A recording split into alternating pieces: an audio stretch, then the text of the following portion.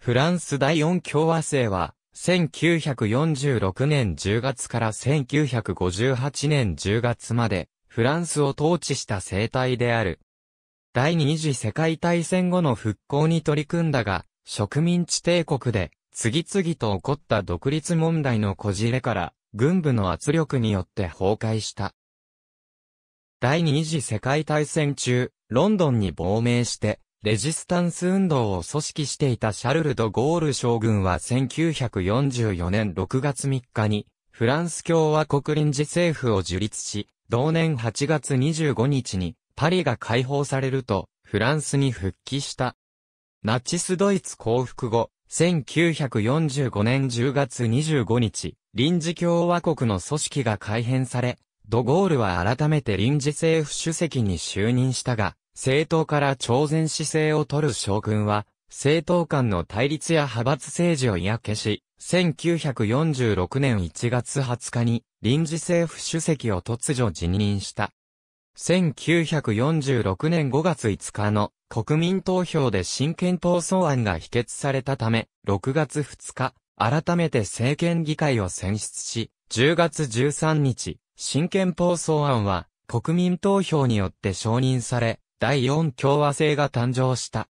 第四共和国憲法は、両院制や大統領の議会選出を定め、大統領より議会の大幅な権限を規定しており、第三共和国憲法とほとんど同じだった。このため、新共和国でも短命内閣が続くことになる。1947年1月16日社会統計のバンサン・オリオールが新大統領に就任した。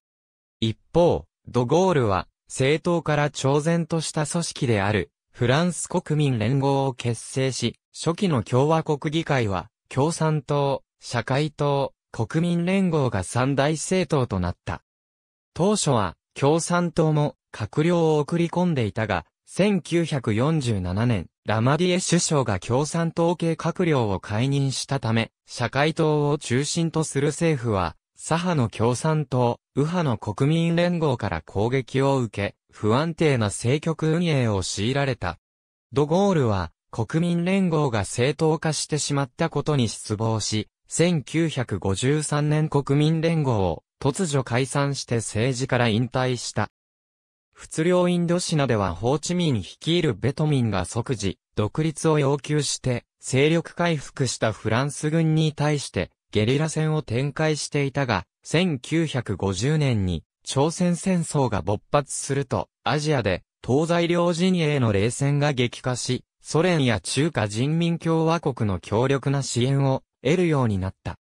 1954年5月7日、ベトナム北部の要衝をめぐるディエンビエン風の戦いで、フランス軍が敗北すると、ピエール・マンデス・フランス首相は7月20日、ジュネーブ協定を締結して、ベトナムからの撤退を決めた。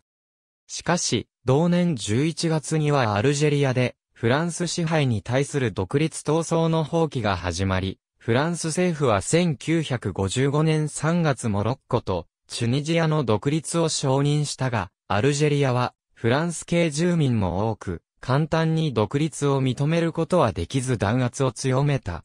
このためアルジェリア戦争は泥沼の様相を呈し始める。フランスは、また1956年10月イギリスと共同で、スエズ運河出兵を行ったが、アメリカ合衆国とソビエト連邦の介入で無残な失敗に終わった。1954年1月16日に就任したルネコティ大統領の下でフランスは1957年5月25日 EEC を結成したが、アルジェリア独立問題はこじれにこじれ、弱腰の政府に業を煮やしたアルジェリア中流軍は1958年5月13日、ドゴール将軍の政界復帰を要求して、クーデターを起こした。政府は、決起部隊司令官を改充しようとしたが、アルジェ駐屯落下山部隊は、コルシカ島をも占拠し、首都パリへの侵攻も現実の脅威となってきた。パリのフランス軍中枢部にも、決起部隊に呼応する動きが表面化したため、固定は、同年6月1日、陰性していた、ドゴールを首相に指名した。大統領に、強力な権限を付与する新憲法制定を主張する、ドゴールは9月28日新憲法を、国民投票で承認させ、10月5日に第5共和制が成立。第4共和制は12年足らずで終焉した。ありがとうございます。